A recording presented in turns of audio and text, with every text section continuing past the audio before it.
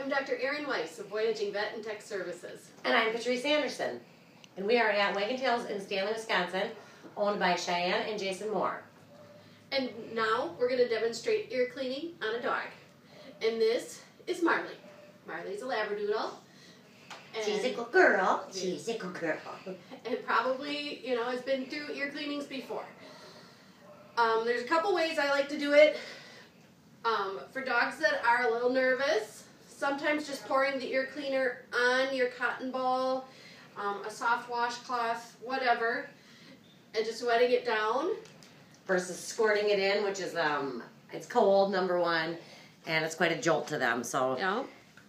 And just putting my finger in and wiping down in there as far as I can and swiping up and seeing what we get. See? Goodies. That's the stuff we want to get out. And we can do it again.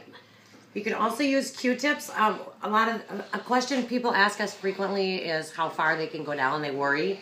Um, a dog's ear canal is shaped a little different than ours, so you can obviously you don't want to jam things in there, but you don't really need to worry about hurting them.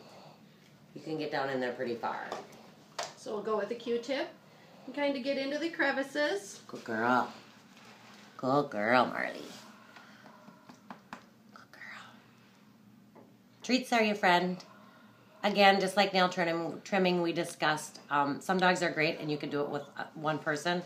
Um, a lot of times you need two to get them to sit still and really do a good job.